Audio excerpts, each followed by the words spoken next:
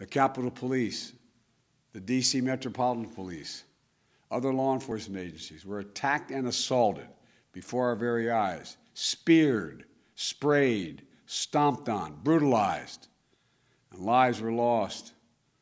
And for three hours, the defeated former President of the United States watched it all happen as he sat in the comfort of the private dining room next to the Oval Office.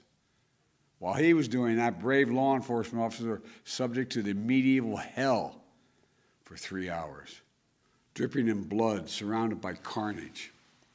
Face to face with crazed mob that believed the lies of the defeated president. The police were heroes that day. Donald Trump lacked the courage to act. The brave women and men in blue all across this nation should never forget that. You can't be pro insurrection and pro cop. You can't be pro insurrection and pro democracy. You can't be pro insurrection and pro American. There can be no greater responsibility than to do all we can to ensure the safety of our families, our children, our community, our nation, and our law enforcement officers. I will always meet that duty, just as you do every single day as members of a critically important organization.